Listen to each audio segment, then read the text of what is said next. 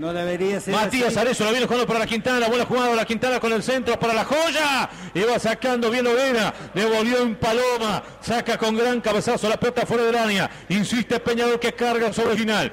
Se falta mucho todavía en la 10. Van 32, pero obviamente este resultado que a ninguno de los dos él le conforma aparentemente. Pelota a la derecha, viene el centro, atrás la colla le quedó. Atención, Kevin Méndez tiró gol.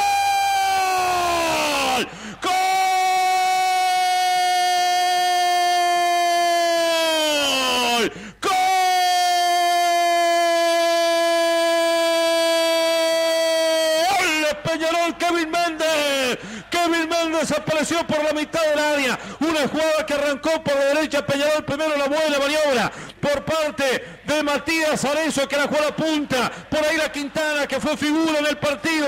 Enganchó, tocó pelota atrás. Vino remate y un rebote. Y después de rebote apareció Kevin Méndez para sacar el latigazo abajo y contra el palo. Llora Kevin Méndez emocionado con el gol. Se lo prende a la tribuna. Peñarol la apertura de score a los 33 minutos del segundo tiempo.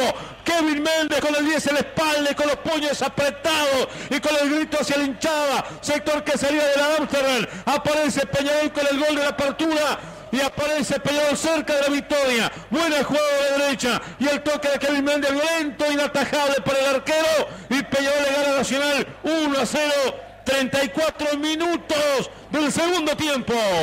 Bueno, primero había Nacional arriesgado, ¿no? Con los cambios, ¿no? Y Peñarol eh, vio que era el momento, mandó también gente de ataque, lo terminó resolviendo uno que no había tenido un buen partido, lo reclamaba más al ex defensor, llegó con esta magnífica definición abajo contra el parante, nada que hacer para el goleo nacional.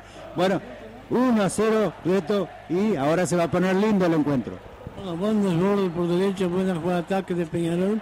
Yo creo que la primera jugada eh, del, que hizo el gol. No, no, Kevin Méndez, Kevin Méndez no, no fue, no fue la Joya Hernández que hizo el gol, fue Kevin Méndez que hizo el gol. Bueno, 1-0, partido que falta todavía.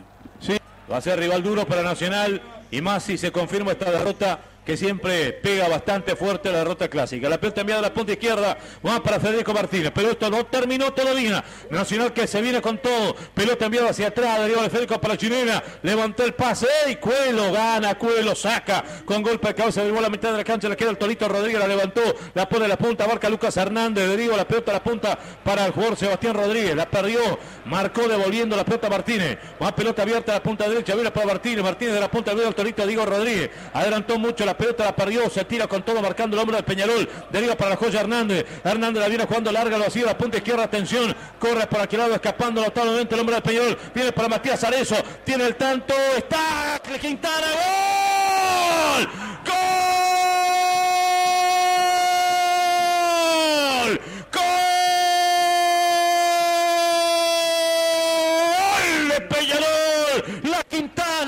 la figura carbonera, la Quintana, lo dije, iba a tener Peñarol de contragolpe si Nacional se tiraba arriba, carta como para liquidar el partido, una pelota enviada notablemente por la joya Hernández, la punta izquierda, allí escapó el hombre carbonero, metió el pase al medio, no pudo Matías Arezo y le quedó la Quintana, y el Nacho la Quintana tiró fuerte, violento, rasante, contra el poste, de los 45 minutos, liquida el partido Peñarol de los Catarios, de campeón del siglo, Peñarol 2, Nacional 0, liquida el pleito del equipo carbonero. El premio para uno de los mejores jugadores de Peñarol. Que en la tarde que fue la Quintana. La, culminó muy bien contra el poste violentamente ante una buena jugada de ataque Peñarol, aprovechando algún error defensivo de Nacional. Pero para la Quintana es el premio porque tuvo una muy buena actuación.